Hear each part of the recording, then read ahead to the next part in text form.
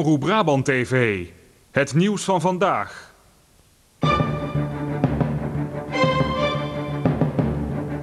Verkeerschaos en gewonden op snelweg A67 bij Mierlo. Commotie om sluiting van drie banken in gemeente Eersel. NAC-fans schreeuwen hun Big Brother in Almere toe. Brabant Nieuws, Petra Dorrestein. Het is 8 november, dit is Brabant Nieuws. Goedenavond. Het leek vandaag wel de hele dag spitsuur voor het verkeer op de snelwegen in Brabant. Vrijwel de gehele dag stonden er kilometerslange files. Op de A2 natuurlijk, maar vrijwel de gehele dag ook op de A67 door een ongeluk bij Mierlo. De problemen voor het verkeer begonnen vanmorgen vroeg al. Tegen 8 uur stond er verspreid over heel Nederland 250 kilometer file. Volgens de ANWB en Rijkswaterstaat was de verkeersdrukte vooral het gevolg van enkele ongelukken.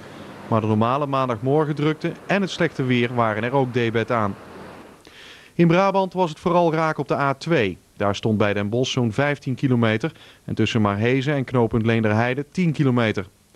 In West-Brabant was het vooral druk op de A16, de weg Breda in de richting Antwerpen en Breda in de richting Rotterdam.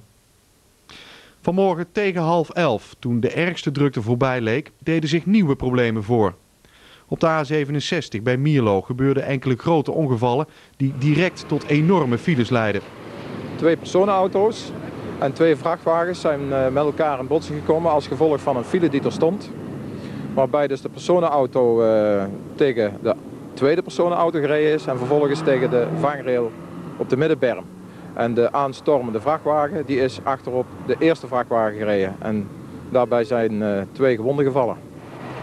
Door de file die ontstond raakten ook verder op de A67 auto's met elkaar in botsing.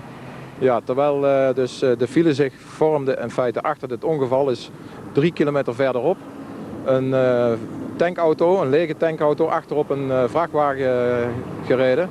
Daarbij is die tankwagen geschaard en ook daar is een lichtgewonde gevallen.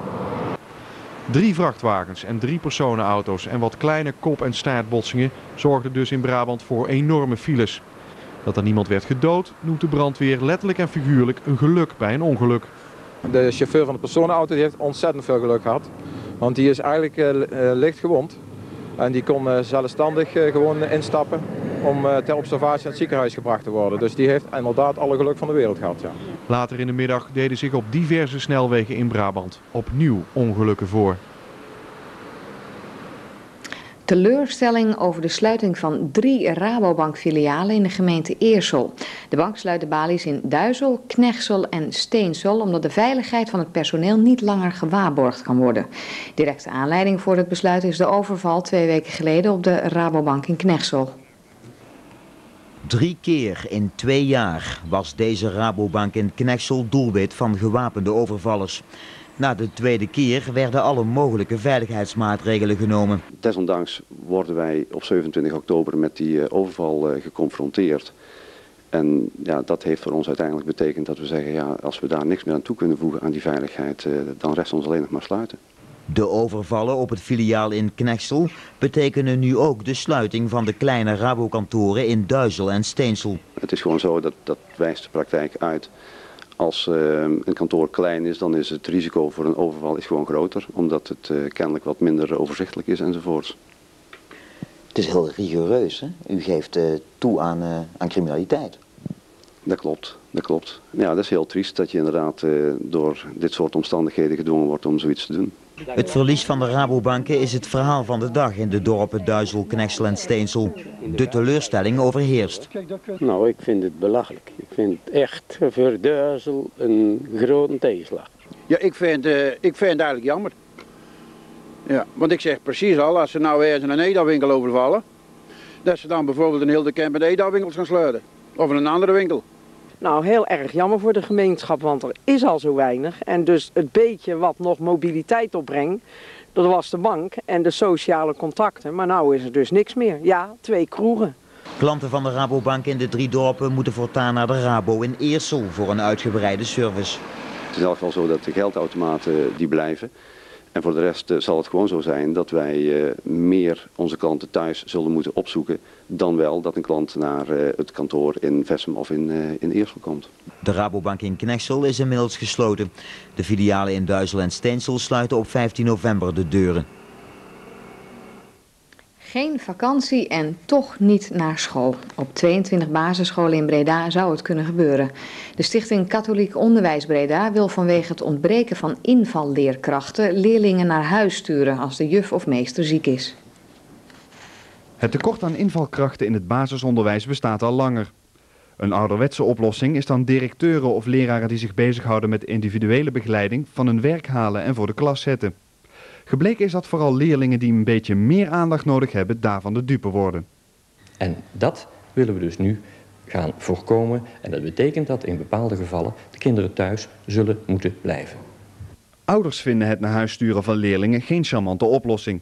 Maar ze kunnen er wel begrip voor opbrengen. Als we het op, op tijd weten, dan kunnen we iets regelen. En voor de rest, uh, het is overal uh, een gebrek aan leraren. Ja, als het niet anders kan, dan, uh, ja, dan is het zo. Ja, ik denk dat er geen andere oplossing is, toch? Want ze zitten gewoon met te veel of te weinig ja, krachten, hè? ook invallers en zo. Dus ja, ik denk niet dat er een andere oplossing is.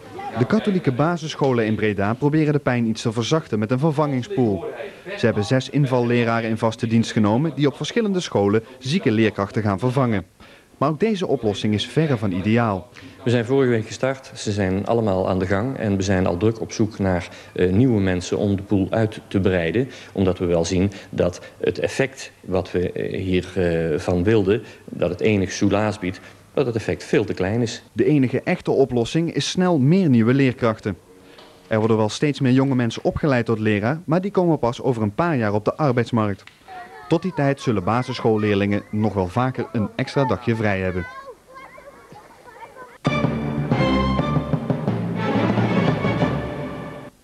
DAF Trucks in Eindhoven gaat de productie versneld opvoeren van 96 tot uiteindelijk 110 vrachtwagens per dag.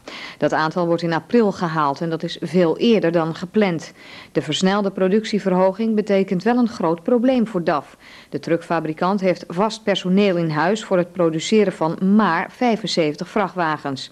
Nieuw vast personeel is nauwelijks te krijgen en daarom zoekt DAF nu naar interne oplossingen. Volgens de vakbond heeft DAF dit aan zichzelf te wijten. De Interliner, de snelle busverbinding in ons land, wordt onder de loep genomen. Maar de Nederlandse spoorwegen en streekvervoerder Connection, de exploitanten van deze bus, ontkennen dat de prijzen van een kaartje fors verhoogd worden. Ook bij de twee busmaatschappijen in Brabant, de BBA en de Hermes Groep, was vandaag nog niks bekend over een prijsverhoging. De BBA en de Hermes Groep vallen beide onder Connection. Volgens hen trekt de Interliner nu veel reizigers en dat willen ze graag zo houden. Hoe doen de Brabantse bedrijven het op de Amsterdamse effectenbeurs? Om die vraag te beantwoorden is de Brabant Beursindex opgezet. Een initiatief van Bart Oosterveld uit Den Bosch. Sinds juni wordt er al getest en sinds vandaag is de Brabant Index te zien op internet. Er is al jaren een index van alle Nederlandse beursgenoteerde bedrijven, de AEX. Nu komt daar de Brabantse beursindex bij. Deze wordt al bijgehouden vanaf juli, maar is vanaf vandaag operationeel. Nou, omdat het uh, heel aardig is, denk ik, om te vergelijken hoe Brabant het doet in vergelijking met de AIX, met zeg maar de centrale Nederlandse beurs. Vooral omdat het de laatste tijd in Brabant uh, bijzonder goed gaat. Nou blijkt het niet helemaal uit de beursindex, moet ik zeggen. Want die beursindex is sinds juli, toen die index gestart is, die BBI is juist iets achtergebleven bij de AIX. Maar goed, wat is kan nog komen natuurlijk. In de Brabantse beursindex staan alle 22 Brabantse bedrijven die een notering hebben aan de Amsterdamse effectenbeurs. Zoals Van Melle, Sligro, Tulip, Heijmans, Beterbed en ASML, om er maar eens een paar te noemen. Vraag is of het zin heeft om al die uiteenlopende bedrijven op een hoop te gooien. Nou, eerlijk gezegd is het natuurlijk een beetje appels met peren vergelijken. Dat klopt wel, want er zijn natuurlijk hele kleintjes bij. En, en ik noem al die, die ASML, wat een hele grote is. De Brabantse beursindex is op internet te zien op www.bedrijvigbrabant.nl. De cijfers worden ieder uur ververst.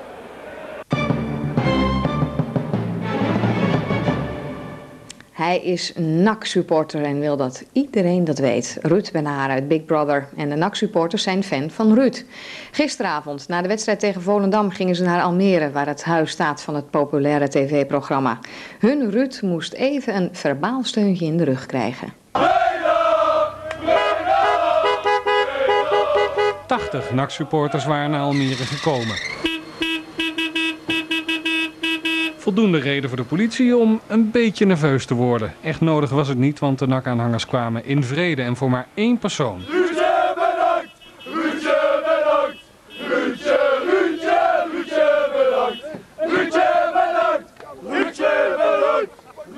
Achter gesloten deuren en buiten bereik van de camera mochten de supporters aan de beveiliging een NAC-shirt afgeven. Maar daar hield het dan ook mee op.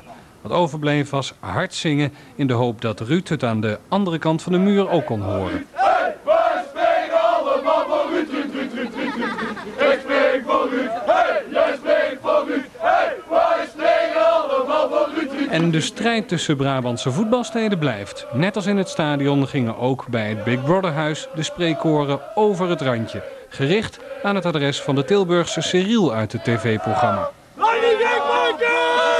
Nee, van Tilburg is het al! Tilburg is Ruud!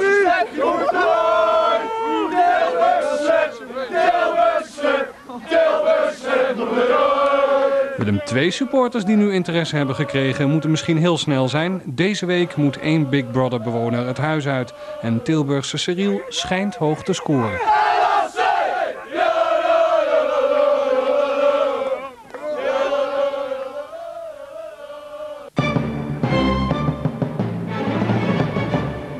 Tot slot het weer. Het was druilerig en somber en morgen wordt het niet veel beter. Vandaag was er veel bewolking met af en toe regen of motregen. Bij een temperatuur van 11 graden. Er stond een zwakke wind uit zuidwestelijke tot noordwestelijke richting, kracht 1 tot 2. In de komende nacht ook weer veel bewolking en af en toe wat regen of motregen. Het wordt 8 graden bij een zwakke westenwind en niet zoals op het kaartje staat kracht 5. Het wordt gelukkig wat minder. De wind is van kracht 1 tot 2. Morgen is er ook veel bewolking en regen of motregen. Pas geleidelijk wordt het droog en in de middag wellicht gevolgd door een opklaring. Het wordt 11 graden bij een zwakke tot matige noordwesten tot noordenwind, kracht 2 tot 3.